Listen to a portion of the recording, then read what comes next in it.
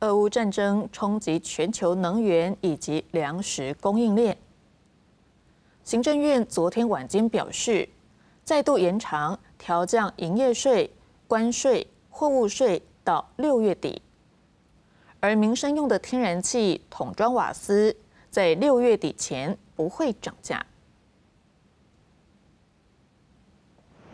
受到俄乌战争冲击，国际能源和物资价格高档波动。行政院为了稳定民生物资，减轻业者营运负担，二十八号晚间宣布，再度延长调降营业税、关税、货物税到六月底。因应国际原油价格上涨，今年二月七号加码调降，汽油每公升调降两元，柴油每公升调降一点五元。原本预定到四月底，延长调降到六月底。行政院也指出，目前国内已掌握黄豆、小麦、玉米未来四到六个月所需货源都已下单，供应无余。为了确保国内价格稳定，小麦机动调降关税及进口黄豆、小麦、玉米免征营业税，延长两个月到六月底。考量国际牛肉、奶油及烘焙用奶粉价格持续维持高档，国内餐饮及烘焙业涨价压力大，因此小麦、奶油、无水奶油、烘焙用奶粉、牛肉等关税减半，同样延长到六月底。由于国际煤矿价格持续上扬，让水泥生产成本上升，为了减缓营建成本压力，水泥货物税减半也延长到六月底。